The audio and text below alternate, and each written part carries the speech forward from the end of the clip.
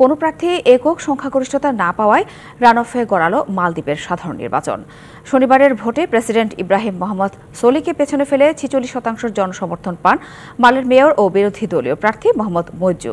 অন্যদিকে সোলি উনচল্লিশ শতাংশ ভোট আদায়ে সমর্থ হন, তবে কোনো প্রার্থী জয়ের জন্য প্রয়োজনীয় পঞ্চাশ শতাংশ জনসমর্থন আদায় ব্যর্থ হয় এই মাসের শেষ দিনে আবারও ভোটে লড়বেন দুই প্রার্থী।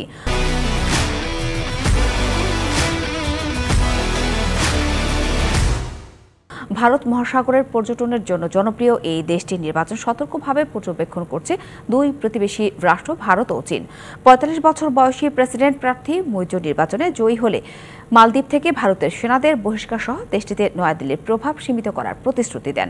ভারতপন্থী হিসেবে পরিচিত মোহাম্মদ সোলি ভোটে জিততে এরই মধ্যে রান অফ লড়াই সহ জোট গঠনের তৎপরতা শুরু করেছেন।